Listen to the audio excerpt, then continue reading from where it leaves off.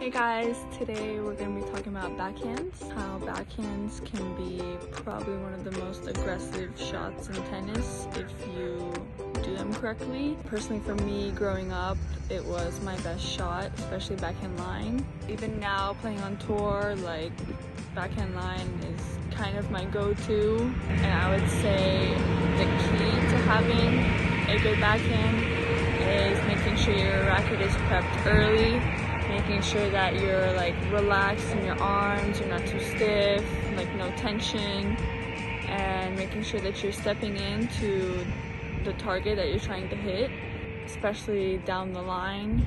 To make sure that you're turned, that your shoulders are sideways, that you're stepping in forward and not to the side or anywhere else, and really getting your weight through the ball in point situations, I would say if you see that your opponent has a really weak backhand, to really go at it, like two, three balls cross court to the backhand, and then boom, you hit backhand line, and it's basically like the way you win all your points.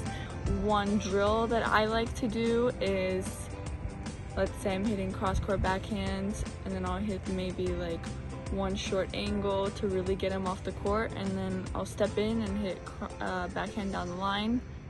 And then you can really use that pattern really well in point situations. Or another one you could do is hit like just two cross court like really trying to get them deep and then stepping in when you have a chance, making sure that the ball does not get above your shoulders, very important. But stepping in, maybe one, two steps inside once you see that your opponent took one, two steps back and really trying to attack the backhand line. That's also another good drill, as well as that I'm actually myself working on my backhand now. Instead of starting like up, which is kind of tense, a lot of tension in your arm, I'm starting more down, which lets me relax my arms and really swing through and get more space between me and the ball. And that's important.